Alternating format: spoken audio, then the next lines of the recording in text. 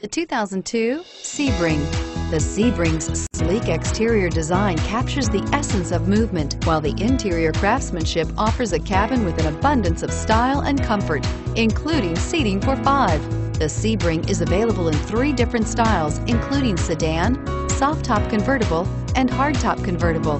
Sebring makes driving fun again and is priced below $5,000. This vehicle has less than 125,000 miles. Here are some of this vehicle's great options. Power steering, air conditioning, front, FWD, AM FM stereo radio, rear defrost, bucket seats, child safety locks, trip odometer, power windows, power brakes. Your new ride is just a phone call away.